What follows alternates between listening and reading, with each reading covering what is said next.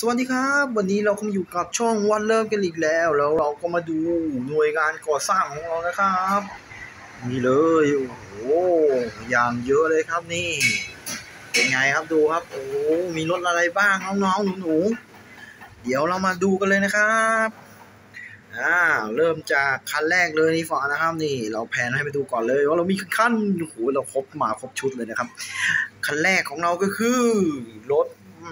เกรดเขาเรียกรถเกรดนะครับนี่รถเกรดคันนี้เป็นสามเพลานะครับรถเกรดสามเพลามีขุดเจาะข้างหลังด้วยนะครับ นี่โอ้โหเป็นไงครับนี่ปื๊ดปื๊ดนี่ไฮดรอลิกเจาะได้นะครับนี่ มีไฟหน้านะครับ มีไฟหน้าด้วยโอ้ไฟหน้าหลุดเลยข้างนึงครับ นี่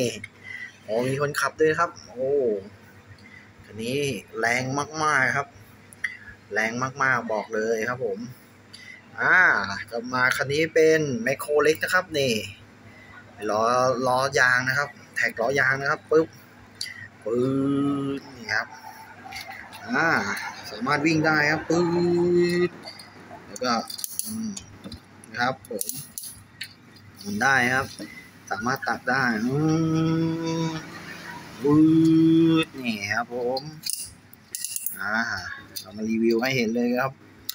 โอ้เป็นเนื้องานอย่างดีครับพลาสติกอย่างดีนะครับล้อเย็นเหล็กนะครับ นี่โอ้สวย อ่าเราก็มาจบที่คันนี้นี่